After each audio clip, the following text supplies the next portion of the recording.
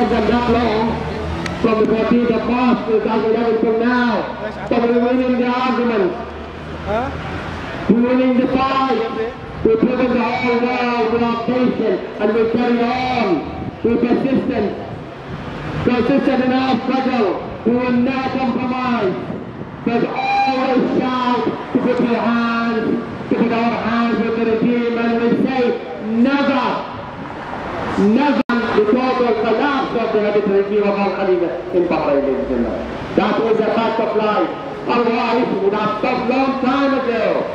We would have carried on nearly two years and nine months now.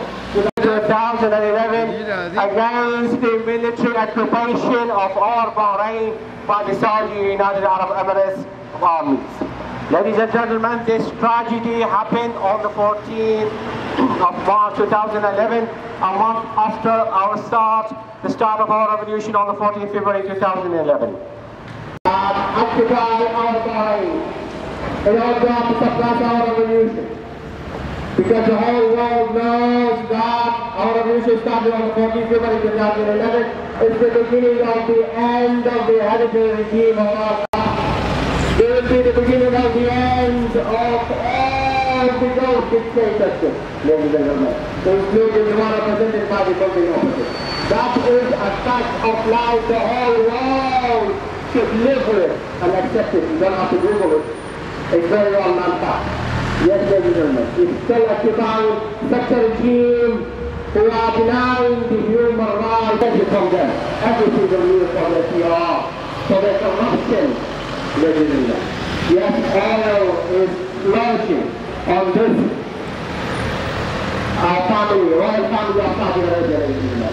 And they used to buy arms from this country and other Western countries. Therefore, there is no invasion threat to the, all the Gulf region, all the Gulf region.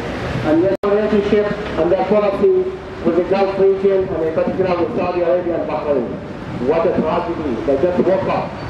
Somebody just woke up and, and that coincides with the second anniversary of the so-called Dusuni report, which being investigated, initiated by the hereditary regime of Al Khalifa in Bahrain after nine months of our revolution.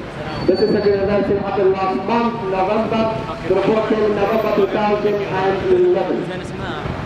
And in the British government, and the British Parliament, the of Commons, Foreign Affairs Select Committee report out just over 10 days ago. Stated so many things that so many people keep dialogue with these regimes talk to them about human rights, still having a dialogue is better than nothing anyway, still playing with them. Yes, what is oil? The British government jumped it. That's what they've been doing. And they can't do it until the markets for the British growth